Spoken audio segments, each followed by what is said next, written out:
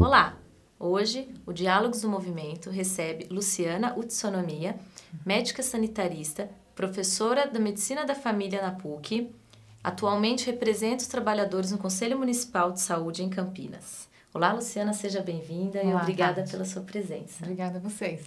O tema do nosso diálogo de hoje é o parto humanizado. E aí eu já vou começar perguntando, Luciana, que hoje em dia há muita confusão com o termo parto humanizado. E muitas pessoas pensam que é o parto dentro de casa, na banheira. É, explica pra gente o que consiste o parto humanizado e como podemos desmistificar esse termo na sociedade. Eu acho que, primeiro, Tati, é importante dizer que o, é, a saúde né, no nosso país ele é um direito garantido por Constituição. Né? E, e, é, e é dever do Estado garantir um atendimento digno de qualidade para todas as pessoas, independente de classe social e tudo. Eu falo isso porque a gente sabe que é, desde que o parto deixou de ser um evento familiar e, do, e, e doméstico para ser um evento é, é, médico e de saúde no hospital, a gente tem muitos problemas, né? E problemas que até hoje não foram enfrentados pelo poder público, né? E eu acho importante dizer que nenhum estudo científico em relação à medicina baseada em evidência, estudos nacionais, internacionais, repetidos, repetidos, nenhum deles diz que a cesárea é a solução. Né? E no nosso país, infelizmente, é essa que tem sido a tônica, né? E por isso que muitas vezes o parto humanizado ele é visto de maneira assim, quase como uma fé, né? E confundem tanto com todas as outras coisas que não são de fato o que prega a política, como você mesmo uhum. disse, né? É. O Brasil é o segundo país no mundo de cesarianas, Isso. enquanto a Organização Mundial da Saúde estabelece até 15% é, a proporção esperada, esperada né? né? Então o Brasil ele chega em 57%. Sim. É, na sua opinião, por que esse número é tão alto? É, seria mais do que três vezes o, preca, o preconizado mundialmente. Acho que é isso que eu coloquei. A gente, infelizmente, é um dos campeões nesse ranking, né? E, e a gente tem uma, uma uma clareza, né, assim, enquanto profissional e quanto é, é, médico de família, de que esses índices podem ser mudados, né, se tiver uma política pública eficaz, né, que realmente atenda as mulheres de maneira a evitar um, as complicações no parto, é, deixar a mulher mais à vontade, é, evitar tantas é, intervenções no parto, que hoje é visto quase que como uma urgência, como um infarto. Então a pessoa vê uma pessoa grávida, já pensa numa coisa grave, já quer mandar para o hospital, e aquilo vira uma.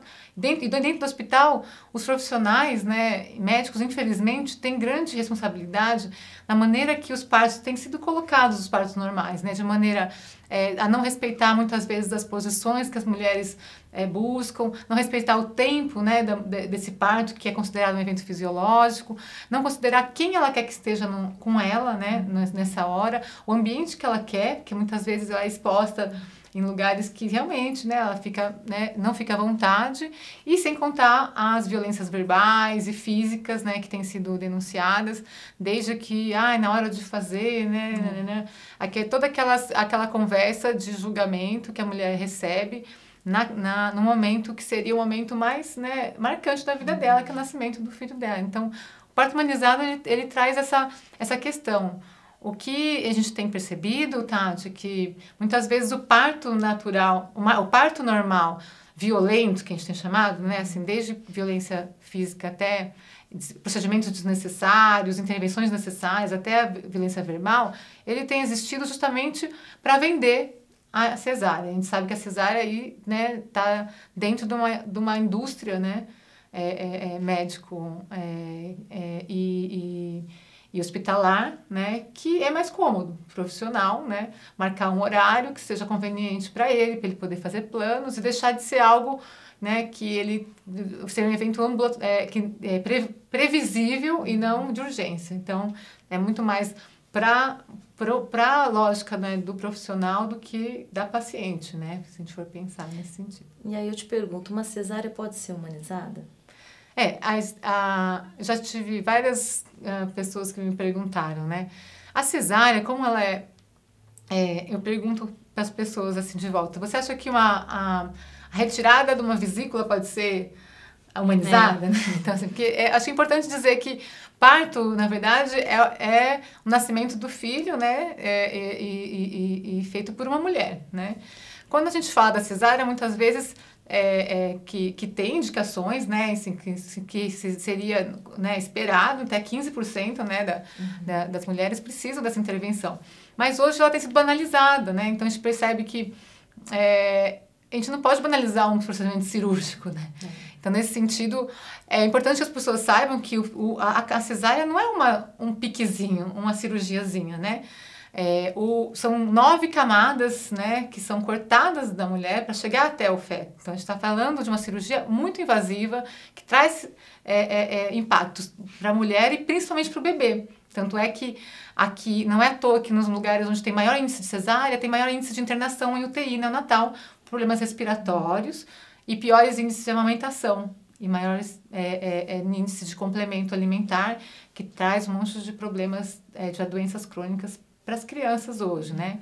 Então, acho que é importante dizer isso, né? Uhum. E é claro que dá para humanizar é, o nascimento, porque a gente está falando de parto, mas a gente nunca fala do parto sem pensar no nascimento.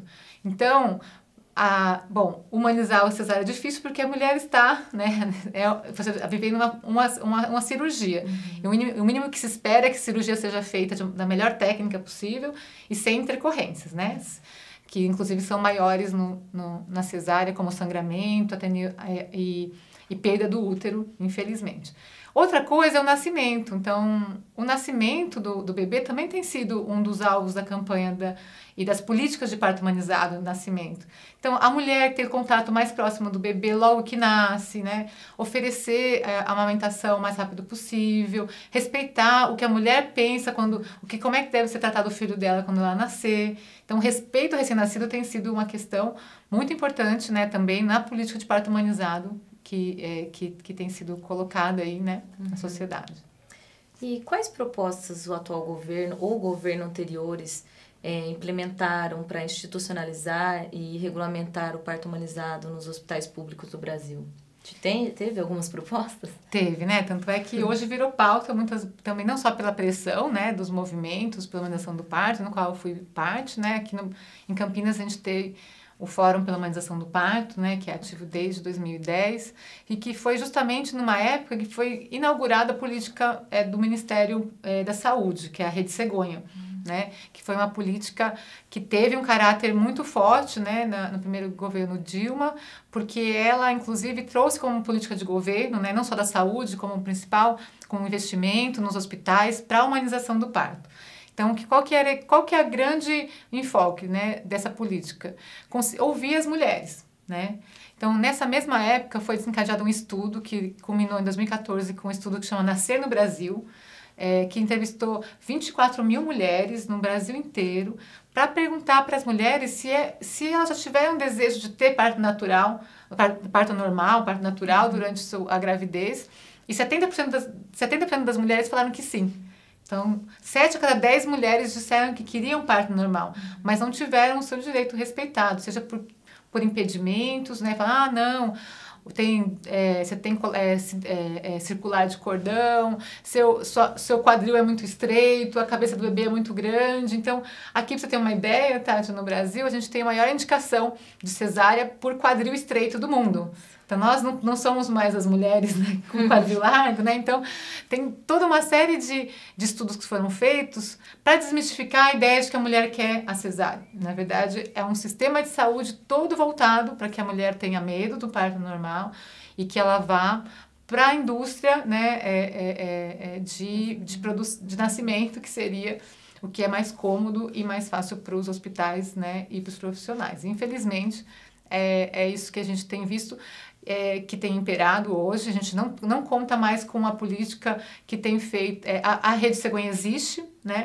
Mas, infelizmente, é, os representantes da nova, do, do, novo governo têm, inclusive, é, o, no legislativo, né, criado é, leis, como recentemente né, a, a vereadora Janaína Pascoal tem colocado como a de cesárea enquanto direito da mulher e, né, e tem adiado a, a, o debate público de um parto de, é, é, é é, digno, de qualidade, com a mulher protagonista, como é, para as próximas gerações. Então, uhum. essa ideia de que a, do direito do direito muitas vezes colocado erroneamente para alimentar né, essa indústria. E, e a gente está num momento hoje tão é, de, das pessoas incentivarem nós serem proativos, né? Sermos protagonistas do nosso destino, para termos sucesso, né? E aí, quando a gente fala da mulher ser protagonista, da mulher ter direito à voz, a gente silencia elas. Então, infelizmente, é essa contradição que a gente tem vivido hoje. Mais uma vez, obrigada, Luciana, pela sua presença, por esse diálogo tão importante para a sociedade. E nós vamos ficando por aqui com mais um Diálogos do Movimento e até a próxima.